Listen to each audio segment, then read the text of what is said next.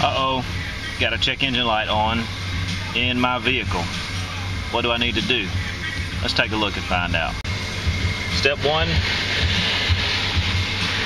I need to hook up to the vehicle's data link so I can check for codes. Step two, I wirelessly connect to the vehicle's data link through Chrysler's wiTech system and then view the trouble codes. Once I have connected to the vehicle through wiTech, this indicates the PCM, because it's highlighted in yellow, has a DTC that the PCM is picking up. When I check for DTCs, I've got a P0430, which, which is a CAT Efficiency Bank 2 code.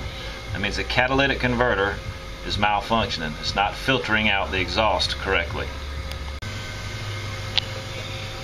At this time, further diagnostics are needed to figure out exactly what's causing the code.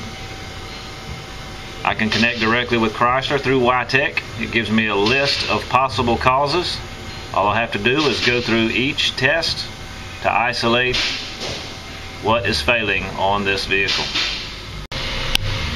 We're about an hour later, and as you can see, the PCM is no longer highlighted in yellow.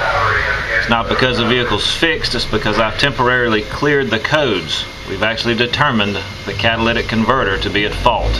In this case, there's an aftermarket converter on a vehicle, and that's what's causing the concern.